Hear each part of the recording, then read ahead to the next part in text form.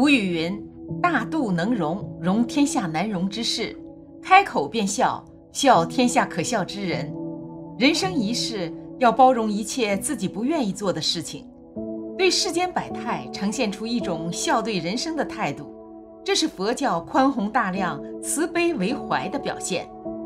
做人要大度，包容了别人，自己的日子才会好过。小鸡肚肠的人，把利益使劲儿往自己身上揽。到头来是祸害。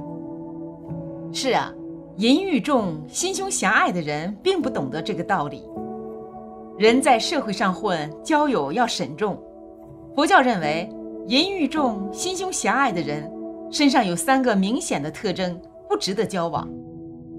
第一，常常和别人翻旧账，唯利是图。淫欲重、心胸狭隘的人记性特别好。他能够记住过去所有的事情，还常常和别人翻旧账。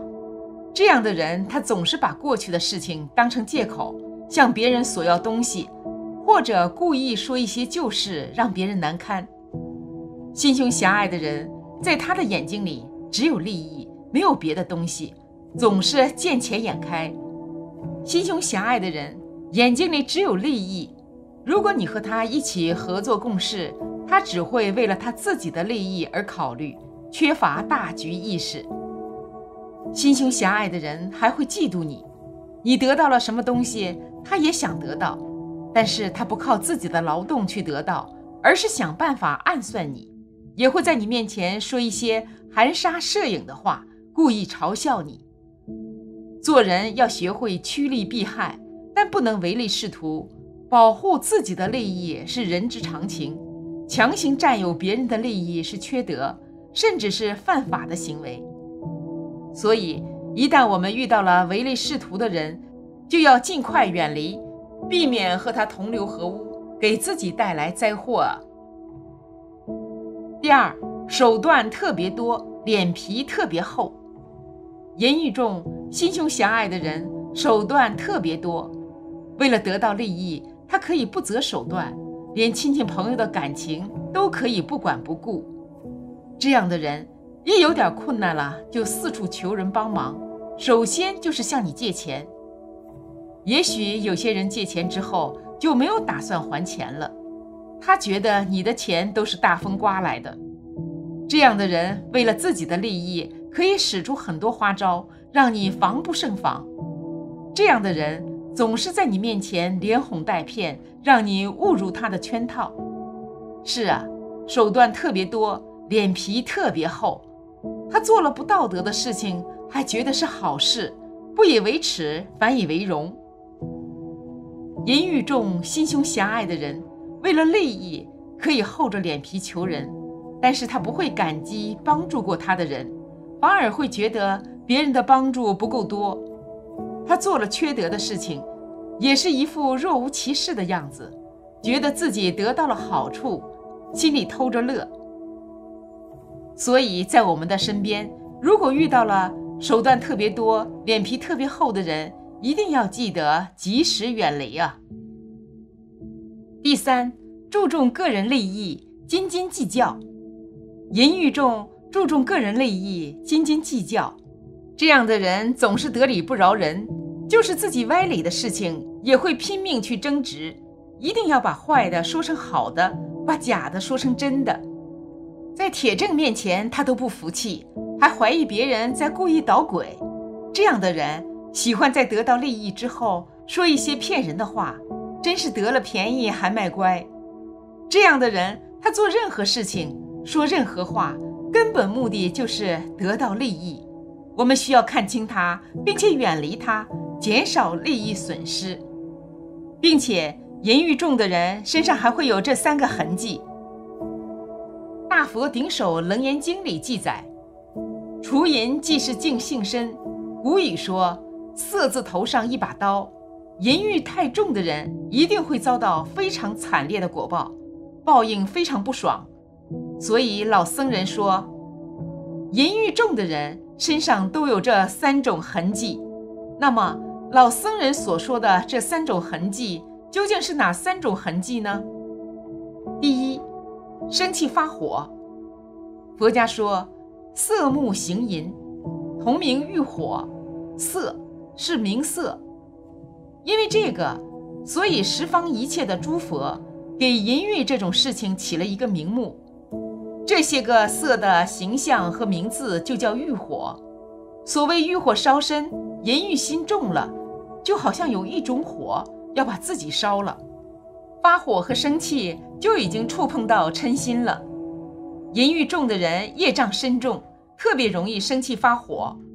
生气发火不仅会伤害身边的人，也容易伤害到自己的身体。生气的时候很容易做出一些折损福报的事情。佛门见欲如避火坑，佛门见淫欲的这种行为，就好像逃避火坑那么严重，要躲避它。我想谁都不能见着这火坑就往火坑里跳，你跳到火坑里一定会烧死的。所以一定要远离淫欲，不生淫欲念头。第二，贪欲过度，《楞严经》中说：“淫心不除，尘不可出。”纵有多智禅定现前，终落魔道。可见淫欲的果报是如此的惨重。人可以存在正常的欲望，但是要保持有度。贪淫过度就容易造成自己的业障深重。万恶淫为首，人一旦脱离了道德的底线，就是在自毁福报、自毁前程。贪欲会使人走上不归路。有人因为贪心闯下滔天大祸。因为贪心再没有自由，贪欲是恶魔，它一点一点吞噬着人们善良的心灵。等人们醒悟时，为时已晚。贪欲过度的人，只要及时的去忏悔，真正从此刻起行善断恶，众善奉行，诸恶莫作，下定决心戒除淫欲，就能够减少恶果，福报自来。第三，杀生害命。经月，诸恶业中杀生最为第一，诸善业中放生最为第一。杀生害命，短命多病，这是因果。生命是最宝贵的，哪个众生不爱自己的生命呢？在所有恶业中，杀生的罪业最重，果报最惨。放生犹如忏悔，放生越多，福报越大。淫欲重的人，疾病缠身。常遇诸多灾难等等，其实都是杀生果报，贪图口福之欲而去杀生害命，这是为自己种下恶因恶果。若不去杀生，能够做到护生放生，接下的都是善良的缘分，培养的福报就是属于自己最大的福田。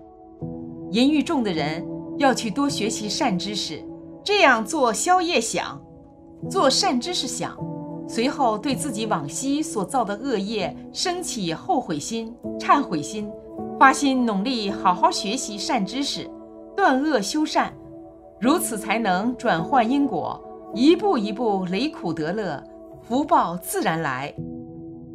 做人要心胸坦荡，不与人计较，要舍得，舍得才有得。所以做人做事不能总从个人利益出发。要多从他人的立场考虑，要有感恩的思想、助人的意识，要提高自己对事物的认识能力。只有真正体会宇宙之宏大、他人之重要、个人之渺小、脸面之微薄，才能真正具有容人的雅量。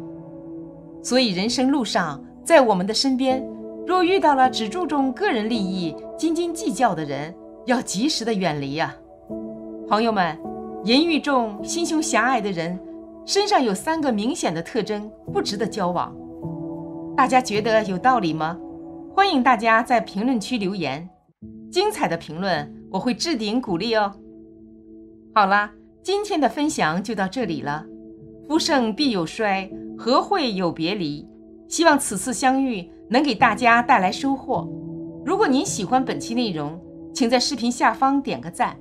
或者留言给出您的建议，还可以在右下角点击订阅和分享。您的支持是我最大的动力。咱们下期不见不散。